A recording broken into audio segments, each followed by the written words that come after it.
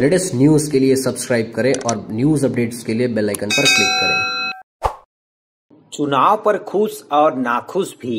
अभनपुर विधानसभा क्षेत्र अंतर्गत ग्राम डंगनिया के लोग काफ़ी उत्साहित नज़र आए हैं। वहीं लोग चुनाव में बढ़ चढ़कर अपने मताधिकार का प्रयोग किए हैं। ग्राम डंगनिया को स्वतंत्र पंचायत बनने पर लोग काफ़ी खुश हैं और ग्राम विकास में चुने सरपंच पर विकास का आशा रखे हुए हैं।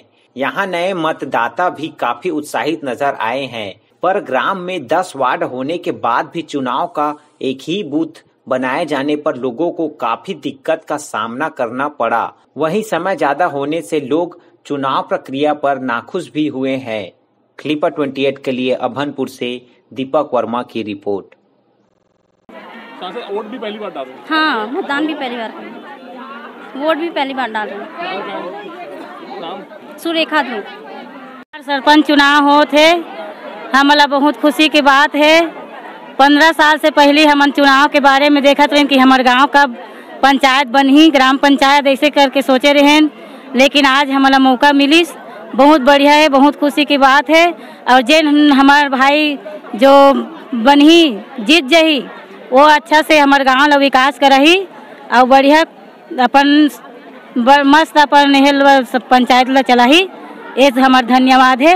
और हमन बहुत तरह से बहुत सोचे रहे कि हमार गाँव विकास होए और अच्छा तरक्की होए गाँव से कुछ बढ़े ऐसे टाइप के हमन सोचे रहे तो बढ़िया है। हमार गाँव में हमला बहुत खुशी लगा थे बस इतना कह करके मैं धन्यवाद करती भारत माता है, है? क्या नाम है? संतोषी बाई साहू।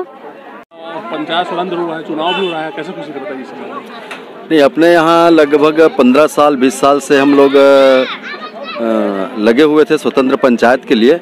और इस वर्ष, स्वतंत्र पंचायत हुए है। गाँव में बहुत सारे महिला, पुरुष सभी में हर्षोल्लास के साथ स्वतंत्र पंचायत का स्वागत किया है। और उसमें ज़ोर शोर के साथ प्रत्याशी भी अपना दावेदारी भी पेश किए हैं।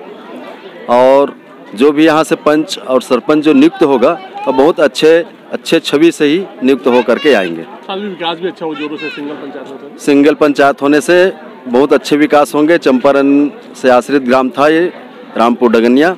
और यहाँ विकास का कार्य एक दस आने के बराबर विकास ही हुआ है। और यहाँ तो विकास का काम बहुत सारे पिछड़ा हुआ है।